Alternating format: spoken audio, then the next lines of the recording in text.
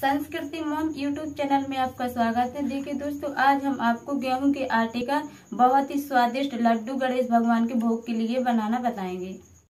एक कप हमने गेहूँ का आटा लिया है। जितनी क्वांटिटी में आप लड्डू बनाना चाहते हैं, उतने ही आप गेहूँ का आटा ले लें। सबसे पहले हम इस गेहूँ के आटा को कढ़ाई में डाल के अच्छे से भूनेंगे। हमने गैस को जला लिया है। गैस पर अपनी कढ़ाई रख दी। कढ़ाई हमारी थोड़ी सी गर्म हो चुकी है और जो हमने गेहूँ के आटा लिया था, आटा को इसमें हम डाल देंगे। गेहूँ के आटा को हमने छान के लिया है हमें। इसमें घी नहीं डालना है, बगैर घी के ही पहले हमें मीडियम गैस पर लगातार चलाते हुए इस गेहूँ के आटे को अच्छे से भून लेना है। धीमी गैस पर हमें गेहूँ के आटा को लगातार चलाते हुए भूनना है। यदि आप तेज गैस पर भूनोगे तो ये हमारे गेहूँ का आटा अच्छे से नहीं भुनेगा। हमने मीडियम गैस पर लगातार चलाते हुए इस आटा को हमने चार मिनट भून लिया है। हमारे आटे से थोड़ी खुशबू भी आने लगी है। अब हम इसमें थोड़ा सा घी डाल देंगे। देखो, हमने ये घी ले लिया है। इस चम्मच से हम इसमें दो चम्मच घी को डाल देंगे। अभी हमें इसमें एकदम से घी नहीं डालना है। हमने इसमें थोड़ा ही घी डाला है और हम इस आटा को थोड़ा और भून लेंगे घी हमारा आटे में अच्छे से मिक्स हो चुका है। थोड़ा सा हमने नारियल को कद्दूकस कर लिया है। नारियल डालने से हमारी गेहूँ के आटा के लड्डू बहुत ही टेस्टी बनते हैं। हमारा आटा अच्छे से भुन चुका है। जो हमने इसमें कद्दूकस किया हुआ नारियल डाला था, वो भी हमारा थोड़ा इसी आटे के साथ अच्छे से भुन गया है।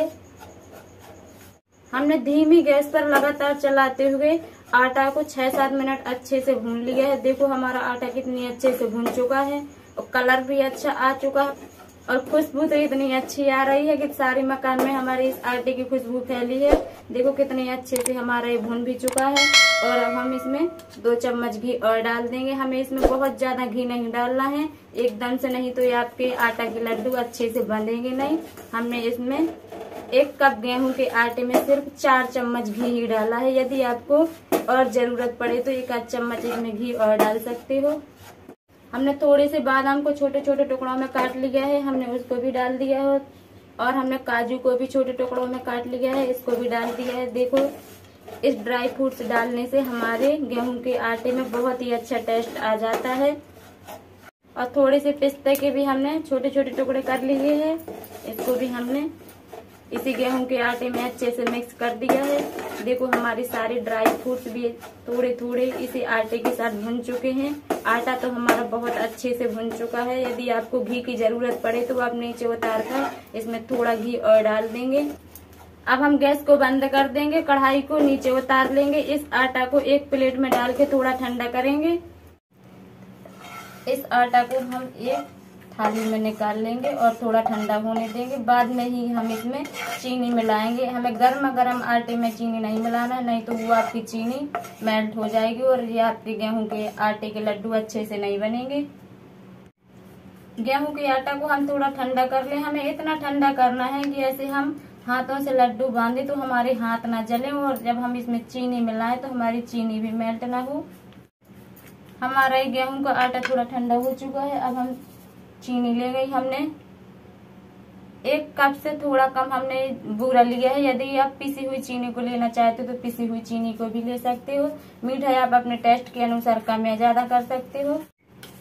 चीनी को हम आटा में अच्छे से मिक्स कर देंगे। देखो, हमने आटा में अच्छे से मिक्स कर दिया है। अब हम हाथों से इसको ऐसे लड्डू बनाएँगे। यदि आपके लड्डू ना बने तो आप इसमें थोड़ा घी और डाल दें। यदि इसमें आपके घी ज़्यादा हो गया हो तो आप नारियल को कद्दू कद्दूकस कर डाल सकते हो। देखो, ये हमारे कितने अच्छे से लड्डू बन रहे हैं। ना इसमें हमारा ज़्यादा घी है, ना ही हमारा कम है।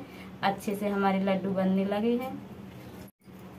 देखो, हमने एक लड्डू को कितने अच्छे से बाँध लिया है। ऐसे हम हाथों से दबा दबा के इस लड्डू को बाँध लेंगे।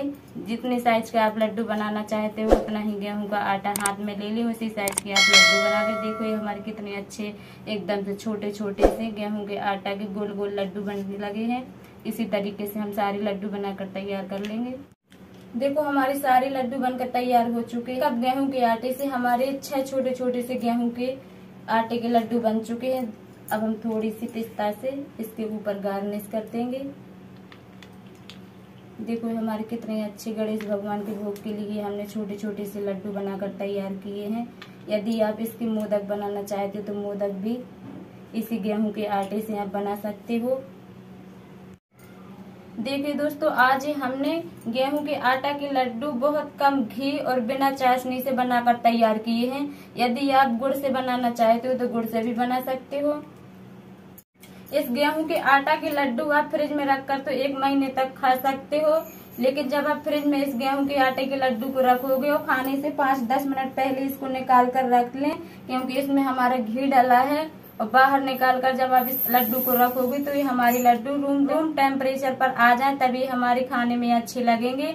यदि यदि आप इस लड्डू को बाहर रखना चाहते हो तो 10-12 दिन तक कंटेनर में भर के बाहर रख कर भी खा सकते हो। एक लड्डू को हम ऐसे तोड़ के दिखाएँगे। देखो, ये हमारे कितने अच्छे, एकदम बिल्कुल सॉफ्ट लड्डू बनकर तैयार हुए हैं। खाने में तो ये हमारे बहुत ही टेस्टी लगते हैं और बहुत ही जल्दी बनकर तैयार हो जाते हैं। दोस्तों, यदि आपको हमारी वीडियो अच्छी लग रही हो तो लाइक और सब्सक्राइब करना ना भूलें। वीडियो देखने के लिए आपको धन्यवाद।